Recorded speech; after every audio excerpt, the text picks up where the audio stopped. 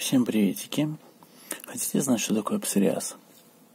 Это чешуйчатый лишай в виде таких вот красных пятнышек на коже, на которых со временем образуются бляшки такие.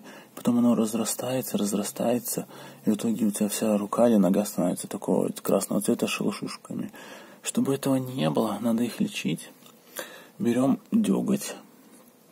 Э, деготь, лучше всего настоящий, конечно же.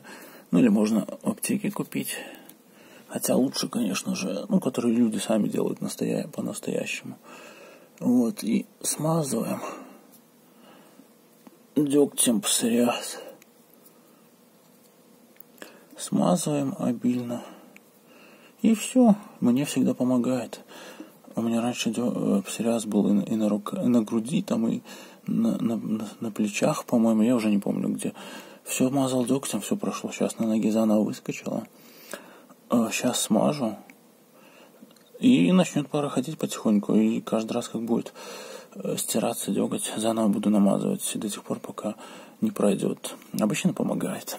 Вот, так что, если у вас тоже псориаз, вдруг у кого-то есть, то деготь это хорошее средство для того, чтобы и с ним бороться. Вот, как-то так. На этом все. Всем покедова.